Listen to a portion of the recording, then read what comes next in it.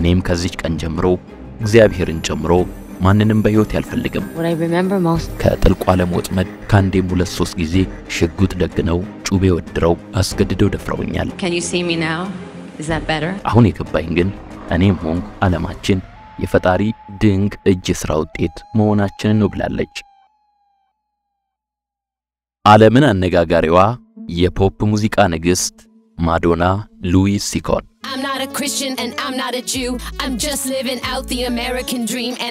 ሁለገብ ባለሙያ ናት።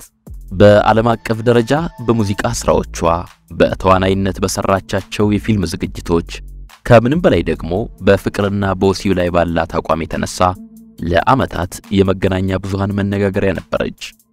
አሁን ላይ ዕድሜዋ 64 ዓመት ቢደርስም የልጇ የአካል ብቃት አሰልጣኝ ከሆነው የ29 ዓመቱ ቦክሰኛ ጆሲ ፒፐር ጋር ድብን ያለ ፍቅር እንደያዛት የእንግሊዝ ብዙሃን መገናኛዎች በስፋት እየዘገቡ ነው። uh.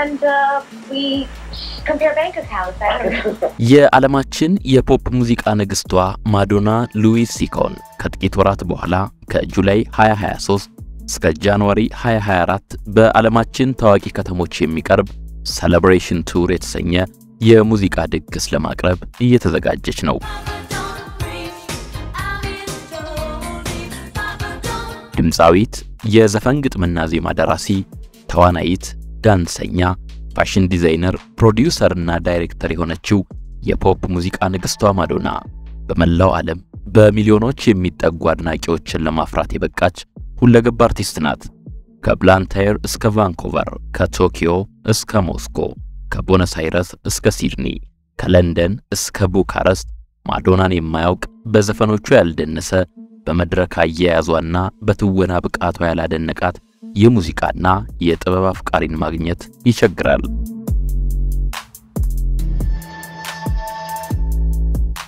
ማዶና ዕጣ ፈንታን ጨምሮ ስለ ሕይወት ያላትን አመለካከት በሥራዎቿ ማሳየት የምትወድ ሴትም ናት።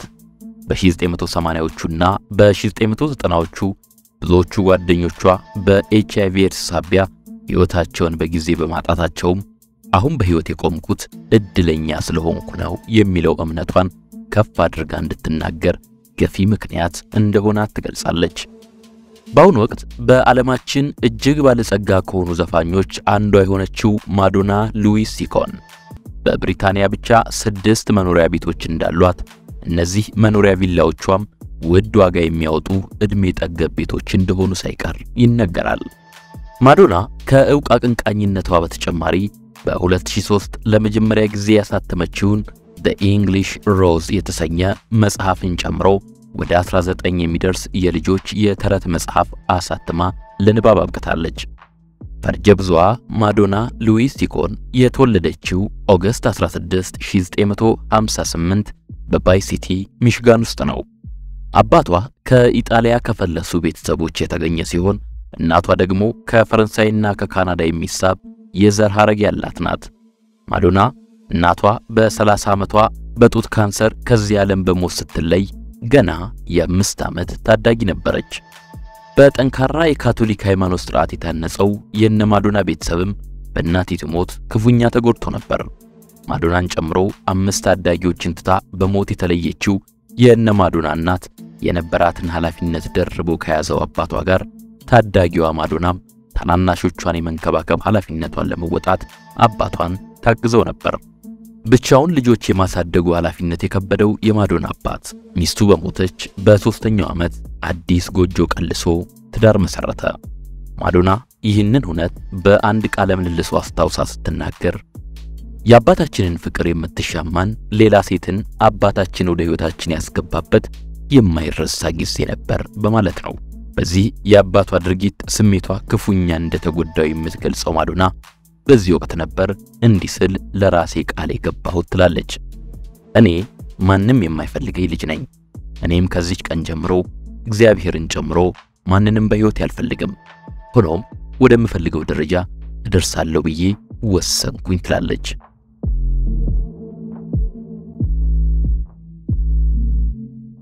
ማዶና ይህን ተከትሎ በኋለኛው ማንነቷ ስለገነገነው ስብዕናዋን ጭምር ስትናገር አንዳንድ የሚታይብኝ ጋጠ ወጥነት መንስኤው በልጅነቴ እናቴን በሞት ስላጣሁኝ የእናቴ ሚና የሚጫወት ሰው ከማጣት የተነሳ ከሚሰማኝ ባዶነት በመነሳት ዓለም ሁሉ ሊወደኝ ይገባል ብዬ በማሰቤ ራሴ የፈጠርኩት እብደት መሳይ የህሊና አለመረጋጋት ይመስለኛል። በልጅነቴ የአባቴ ወይንም የሞግዚታችንን ትኩረት ለመሳብ እየጮኩ መናገር፣ ቀሚሴን መግለብና ጠረጴዛ መደብደብን አዘወትር ነበር። በዚህም ሁልጊዜ ከሰዎች ሁሉ የበለጠ ኃይልና አቅም ያለኝ አድርጌ ራሴን እቆጥረው ነበር በማለት ትገልጻለች።.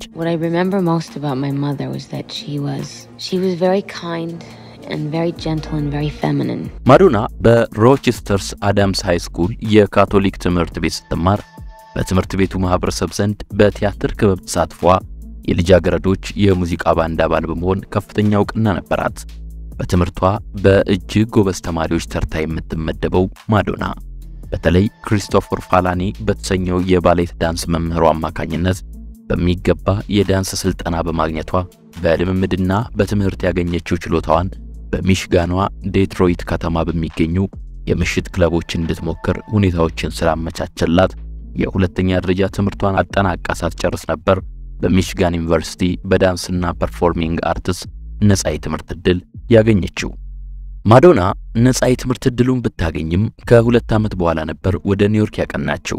ጊዜውም 1978 ነበር። በወቅቱ ማዶና በቦርሳዋ የያዘችው 37 የአሜሪካ ዶላር ብቻ ቢሆንም በልቧ ግን ታላቅ ህልምና ምኞትን ሰንቃ ነበር ወደ ኒውዮርክ ያቀናችው። ኒውዮርክ ከደረሰች በኋላ ወንጀልና የአደንዛዥ ዕፅ ንግድ በተጧጧፈበት የኒውዮርክ ምስራቃዊ ክፍል ከሚገኙና ድህነት በተንሰራፋባቸው የመኖሪያ መንደሮች አፓርታማ በመከራየት ኑሮዋን ሀብላ ጀመረች። ማዶና ለመጀመሪያ ጊዜ ወደ ኒውዮርክ ስለተጓዘችበት ትውስታዋ ስትናገር ኒውዮርክ ለኔ ጥሩም ናት፣ ጥሩም አይደለችም። በፍቅር እጇን ዘርግታ ግን አልተቀበለችኝም።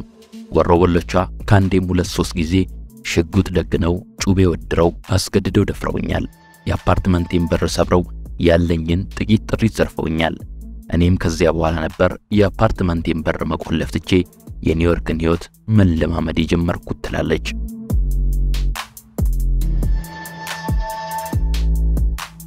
ለመኖር የሚያስፈልጋትን ገንዘብ ለማግኘት በአንድ ድራፍት ቤት በአስተናጋጅነት እንዲሁም በአነስተኛ በጀት በሚሰሩ ፊልሞች ላይ እርቃኗን ፊልም በመስራት ኑሯን ትደጉም የነበረችው ማዶና ሉዊዝ ሲኮን ዩኒቨርሲቲው የሰጣትን የትምህርት ዕድል በመጠቀም ትምህርቷን ከመቀጠል ግን አልተገታችም። በ choreography ዘርፍ አልቪን ኤይሌይ የተባለ አሜሪካዊ በሚመራው የዳንስና የቲያትር performance ቡድን አባል በመሆን እየተማረች በዳንሰኝነት መስራት የጀመረችው ማዶና በልምምድ ላይ ታንጎራጉረው በነበረው ዘፈን የድምፅ አማራኪነት የተገነዘቡ ፒርላንግና ፈረንሳዊው ፓትሪክ ሄርናንዴዝ ወጣቷን ሁለገብ ባለሙያ ዘፈኖችን እንድታጠና አበረታቷት። በዚህ አጋጣሚ ነበር ፓትሪክ ሄርናንዴዝ እና ጓደኞቹ ወደ ፈረንሳይ ፓሪስ በማቅናት ከሙዚቃው ባንድ ጋር በተለያዩ የፈረንሳይ ከተሞች የሙዚቃ ትርኢታቸውን ሲያቀርቡ ማዶናም በዳንሰኝነት የልዑካኑ አባል ሆና የተጓዘችው። ከፓሪስ እንደተመለሱ ማዶና ከተለያዩ የሙዚቃ ባንዶች ጋር በዳንሰኝነትና በ drummer ነት መስራቷን ቀጠለች። ኒውዮርክ እያለች በርካታ የደረሰቻቸው ዘፈኖቿን በተለያዩ የማንሃተን night ክለቦች በመጫወት በአጭር ጊዜ ውስጥ በሙዚቃ አፍቃሪያን ተወዳጅነት ያተረፈችው ማዶና በኦክቶበር 1982 ከሳይር ሪከርድስ ጋር የመጀመሪያውን የሙዚቃ ስራዋን ለማስቀረጽ ኮንትራት ተፈራረመች። በ1983 ለገበያ የቀረበው የማዶና የበኩር ሥራ በተደጋጋሚ በየ night ክለቡ በመደመጡና የሀገሪቱ ኤፍኤም ሬዲዮ ጣቢያዎችም ዘፈኖቿን በተደጋጋሚ አየር ላይ በማዋላቸው ወጣቷ ድምፃዊ ዘፈኖቿ የቪዲዮ ክሊፕ እንዲሰራላቸውና የሙዚቃ ኮንሰርቶች በተለያዩ የሀገሪቱ ከተሞች እንዲዘጋጁ የሚያስችላትን ዕድል በማግኘቷ ከፍተኛ ተቀባይነትን አገኘች። በዚህ ተቀባይነቷ የተነቃቃችው ማዶና በቀጣዩ ዓመት Like a Virgin የተሰኘ የሙዚቃ አልበሟን ለቀቀች። በዚህ አልበም Material Girl የተሰኘው ስራዋን ጨምሮ ለመጀመሪያ ጊዜ የሙሉ አልበሟን ኮንሰርት ለማሳየት ፕሮግራም ተዘርግቶ በየከተማው የተሰናዳው የኮንሰርት ትኬት በሰዓታት ውስጥ ተሽጦ አለቀ። በከፍተኛ ደረጃ በመላው ዓለም ዝናዋ የናኘውና የፖፕዋ ንግሥት የሚል ስም ያገኘችው ማዶና Live Aid የተሰኘ በዓለም አቀፍ የአየር መዛባት ሳቢያ ለረሃብና ድርቅ የተዳረጉ የዓለም ሕዝቦችን ለመታደግ በተዘጋጁ ኮንሰርቶች ላይ በመሳተፍ ሪከርድ ከጨበጡ ጥቂት ዕውቅ የዓለማችን አቀንቃኞች አንዷም ናት። ማዶና በሙዚቃ ሥራዎቿ ካገኘችው ታዋቂነት በተጨማሪ ወደ ሆሊውድ በማምራትም Desperately Seeking Susan የተሰኘ ፊልምም ላይ በተዋናይነት ሰርታለች። ወደ ሆሊውድ እንድታመራ ያደረጋት ሲን ፔን ከተባለ የሆሊውድ actor ጋር በጀመረችው የፍቅር ግንኙነት ነበር። ማዶና የ27ኛ ዓመት የልደት በዓሏን በማሊቡ ካሊፎርኒያ ባከበረችበት ዕለት ከዚሁ actor ጋር መጋባቷንም አወጀች። በወቅቱ ወጣቱ ገና የ20 ዓመት ወጣት ነበር። በቀጣይም በዚያው በሆሊውድ ከባሏ ከሲን ፔን ጋር Shanghai Surprise የተሰኘ ፊልም ላይ መሪ ተዋናይ ሆና የሰራችው ማዶና ከሦስት ዓመት የትዳር ሕይወት በኋላ ከወጣቱ የፊልም actor ጋር የነበራቸው ጋብቻ ፈርሶ ለመለያየት በቁ። ይህ የሆነውም በ1989 ነበር።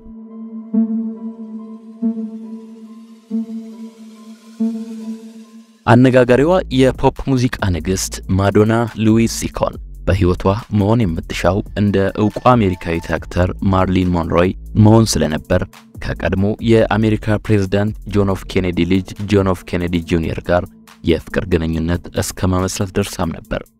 ሆኖም በማዶና የፍቅር ሕይወት ውስጥ ግን በርካታ ታዋቂ ሰዎች ገብተው ስለመውጣታቸው ነው የሚነገረው።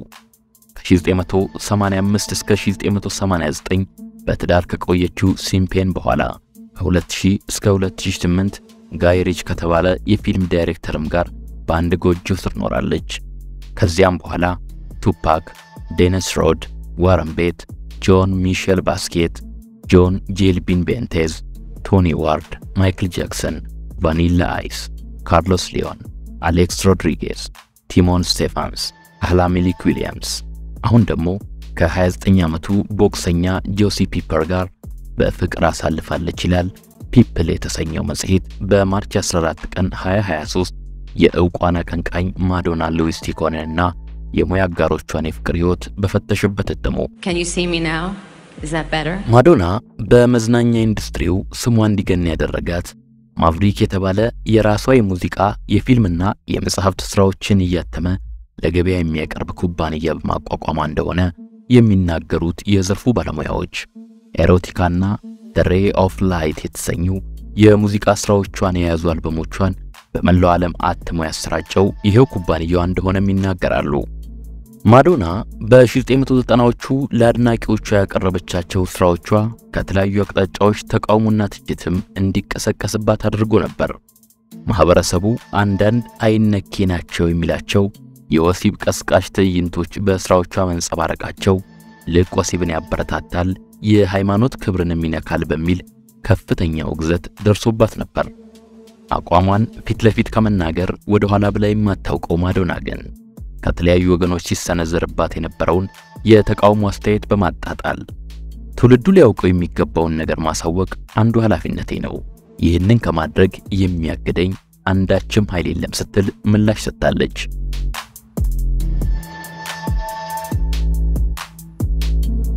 ማዶና በስራዎቿ ምክንያት ከተቀሰቀሱባት ተቃውሞዎች መካከል አንዱ ከቫቲካኗ የሮማ ካቶሊካዊት ቤተክርስቲያን ጋር በጃንዋሪ 1989 ገብታበት የነበረው እሰጥ አገባ በዋነኝነት ተጠቃሽ ነው። Like a Prayer የተሰኘው ሙዚቃዋ ደራሲ የሆነችው ማዶና ዘፈኑን እየዘፈነች የሙዚቃው ክሊፕ ላይ መስቀል ሲቃጠል እንዲሁም የካቶሊካዊት ቤተክርስቲያንን ስርዓትና ቀኖናን በማጣጣል ከቤተ ክርስቲያኒቱ ቅዱሳን አባቶች ጋር ወሲብ ሲፈጸም የሚታይባቸው ትዕይንቶችን ያካተተ ሥራ ነበር። ውዝግቡም የጦዘው በዚህ የማዶና ሙዚቃ ቪዲዮ ላይ የፔፕሲ ኮላ ኩባንያ ለምርቶቹ ማስታወቂያ ተጠቅሞ ማስተዋወቅ ከጀመረ ቫቲካን በመላው ዓለም የሚገኙ የሃይማኖቱ ተከታዮች የፔፕሲ ኮላ ምርቶችን እንዳይጠጡ ውግዘት አስተላልፋለሁ በማለቷ ነበር። ይህንን የቤተ ክርስቲያኒቱን ማስጠንቀቂያ ተከትሎም ኩባንያው ከማዶና ጋር ገብቶት የነበረውን የአምስት ሚሊዮን ውል ለማቋረጥ ተገዷል። ሆኖም ግን የሙዚቃ ክሊፑ ለበርካታ ሳምንታት የቢልቦርድ ሰንጠረዥን በዓለም አቀፍ ደረጃ በመምራት በ15 ሚሊዮን ኮፒ ሽያጭ ሪከርዱን ለመያዝ በቅቷል።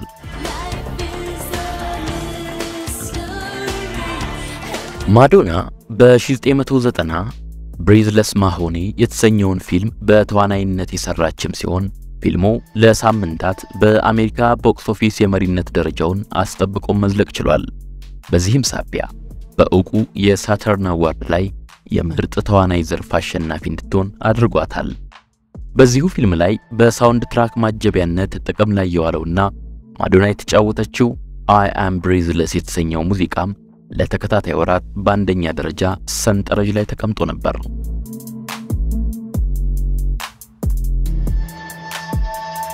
ማዶና በኤፕሪል 1990 Blond Ambition የተሰኘ የሙዚቃ ኮንሰርት በመላው ዓለም በሚገኙ ዕውቅ ከተሞች ለማሳየት ተንቀሳቅሳም ነበር። በመላው ዓለም የተካሄዱት እነዚህ የሙዚቃ ኮንሰርቶች እጅግ የተሳካላቸው የነበሩ ቢሆንም በኮንሰርቱ ላይ Like a Virgin የተሰኘ የሙዚቃ ስራዋን ስትጫወት ሁለት ወንድ ዳንሰኞች መድረኩ ላይ ወሲብ ቀስቃሽ የሆነ ራስን በራስ የማርካት ትዕይንት አሳይተዋል በሚል በተለያዩ ወገኖች ዘንድ ከፍተኛ ተቃውሞ እንዲሰነዘርባት ምክንያት ሆኖ ነበር። በዚሁ የተለያዩ የሃይማኖት ተቋማት ሳይቀር በምሬት ተቃውሟቸውን ስለሰነዘሩበት የመድረክ ትዕይንት ማዶና በሰጠችው ምላሽ የሙዚቃ ኮንሰርቱ ላይ የምናቀርባቸው የሙዚቃ ትዕይንቶች የማንንም ግለሰባዊ እምነትና አስተሳሰብን ለመጻረር የተዘጋጁ አይደሉም። ምንጫቸው ነጻ አስተሳሰብና በምንም ያልተገደበ ግለሰባዊ እይታ የፈጠራቸው የምናብ ውጤቶች ናቸው። ጫጫታው ቢበቃ ጥሩ ነው በማለት ነበር ተቃውሞና ውግዘታቸውን ለሚያዥጎደጉዱባት ወገኖች በንቃት ምላሽ የሰጠችው። ማዶና በ1992 A of Their Own የተሰኘ በአንድ የሴቶች የቅርጫት ኳስ ቡድን አባላት ሕይወትና ሥራ ላይ በተመሠረተ ፊልምም ተዋናይ ሆና ሰርታለች። ፊልሙ ከመላው ዓለም ምርጥ አስር ፊልሞች አንዱ የመሆን ዕድልም አግኝቶ ነበር። የዓለማችን ምርጧ የፖፕ ሙዚቃ ንግሥት ማዶና 14 የሙዚቃ አልበሞችን ለሙዚቃ አፍቃሪያን በማድረስ በርካታ መቶ ሚሊዮን ዶላሮችን ለማትረፍ የበቃች የተሳካላት የንግድ ሥራ አዋቂም ናት። በበጎ አድራጎት የሥራ ዘርፍም የጎላ ሚና የምትጫወተው ማዶና በደቡባዊ አፍሪካዊቱ ሀገር ማላዊ ሁለተኛዋ ከተማ ብላንታየር ሜርሲ ጄምስ የተባለ የሕፃናት ሕክምናና ከፍተኛ እንክብካቤ ተቋም በግል ገንዘቡ አሰርታ ሥራ እንዲጀመር አድርጋለች። ማዶና በ2010 ያቋቋመችውና በመጀመሪያ ልጇ ሎርደስ ስም የሰየመችው የተለያዩ ልብሶች ማምረቻ ኩባንያ ባለቤትም ናት። በኩባንያው በፋሽን ዲዛይነርነት ሥራ ላይ የምትሳተፈው ማዶና በምትወደው ፈረስ መጋለብ ልምዷ ምክንያት ለከፋ ጉዳት ተዳርጋም አገግማለች። ሆኖም በየቀኑ ፈረሶችን ከመጋለብ አንድም ቀን አሳልፋ አታውቅም። በፌብሩዋሪ 1996 በታዋቂው ዳይሬክተርና የፊልም ስክሪፕት ደራሲ አለን ፓርከር የተጻፈውንና በአርጀንቲናዊቷ ፖለቲከኛና ተዋናይት ኤቫ ፔሮን ታሪክ ላይ የተመሠረተውን ኤቪታ በተሰኘው ፊልም ላይ በመሪ ተዋናይነት የሰራችው ማዶና በቀረጻ ላይ እያለች በተደጋጋሚ ሕመም ያጋጥማት ስለነበር በብዙ ተፈትናለች። ማዶና የሕመሟን መንስኤ ለማወቅ ባደረገችው የሕክምና ምርመራም ነፍሰ ጡር መሆኗን ተረዳች። በወቅቱ የ38 ዓመት ዕድሜ የነበራት ማዶና በእርግዝናዋ በሚያጋጥማት ሕመም ምክንያት የኤቪታ ፊልም ቀረጻ ከተያዘለት ፕሮግራም ሳይጠናቀቅ እንዳይቀር በትጋት በመስራቷ የፊልሙ ማጀቢያ ሙዚቃ ጭምር የተዋጣለት ሆኖ ፊልሙ ሊጠናቀቅ ችሏል። ፊልሙ ለእይታ ከበቃ በኋላም ማዶና የ Golden Globe Award of Best Actress ሽልማትን ተቀዳጅታበታለች። ከዚህ በኋላ ነበር በኦክቶበር 14 ቀን 1996 ማዶና ከግል የአካል ብቃት አስተማሪዋና አሰልጣኟ ካርሎስ ሊዮን የመጀመሪያ ልጇን ሎርደስ ማሪያ ሲኮንን በሰላም የተገላገለችው።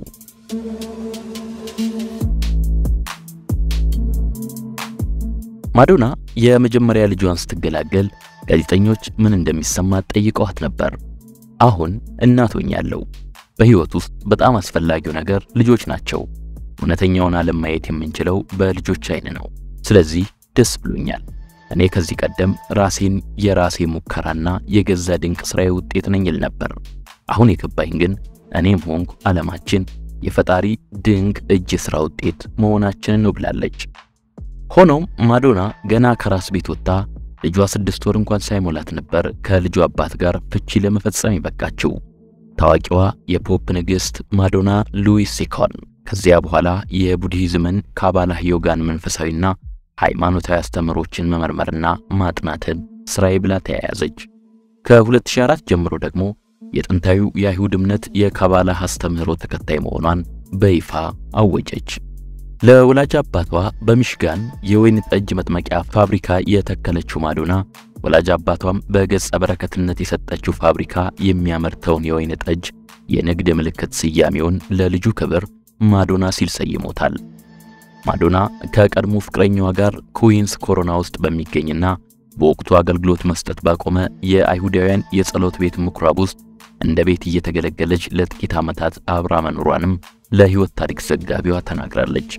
በኤቫ ፔሮን ሕይወትና ሥራ ላይ የሚያጠነጥነው ኤቪታ በተሰኘው ፊልም ላይ መሪ ተዋናይ ሆና ስትሰራ በአንድ ሰዓት ውስጥ 85 ጊዜ ያህል ልብሶቿንና ጌጣጌጦቿን በመቀየር ማዶና በ Guinness World Records ላይ ለመመዝገብ የቻለች ድንቅ የአተዋወን ብቃቷንም በሰራቻቸው ከ20 በላይ ፊልሞች ላይ ያስመሰከረች ተዋናይትም ናት። በስራዎቿ ከ28 በላይ የ Grammy Award ተሸላሚዋ ማዶና ግን አሁንም ገና እሰራለሁ ትላለች። በ64 ዓመቷ አዲስ ነገርን ለአድናቂዎቿ ለማቅረብ ከወራት በኋላ በምትጀምረውና በዓለም ዙሪያ በሚካሄደው የሙዚቃ ኮንሰርት ላይ የሚሳተፉትን ዳንሰኞች፣ የሙዚቃ ባንዶችና የ choreography ባለሙያዎችን ሁሉ መራርጣ የዝግጅቷን የመጀመሪያ ምዕራፍ ማጠናቀቋንም አስታውቃለች።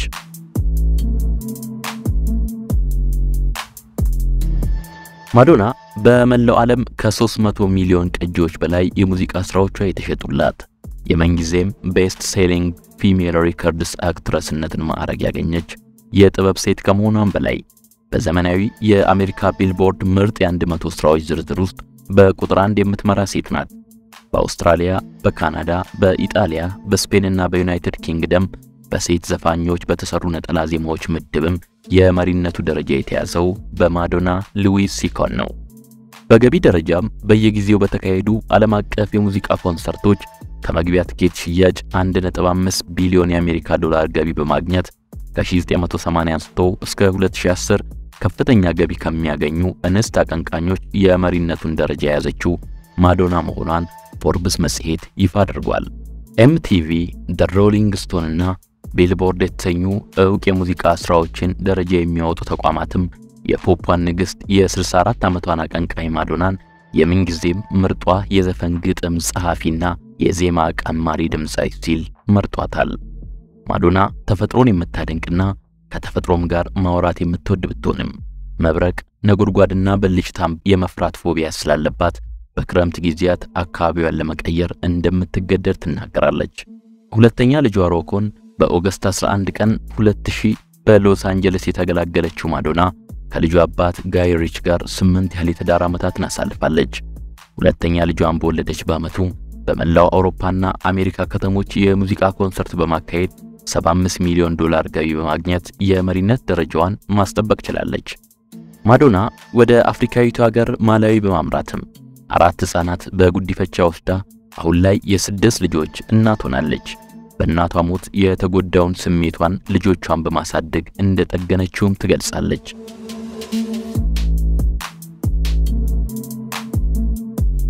በሙዚቃ ሥራ ያለማቋረጥ ለ40 ዓመታት ያለ ረፍት የሠራችው ማዶና ሉዊስ ሲኮን በሃይቲ የመሬት መንቀጥቀጥ ባደረሰው ውድመት ምክንያት ከሥራና ሕይወታቸው የተፈናቀሉ ወገኖችን ለመርዳት የገቢ ማሰባሰቢያ የሙዚቃ ኮንሰርት አዘጋጅታ በርካታ ሚሊዮን ዶላሮችን አስገብታለች።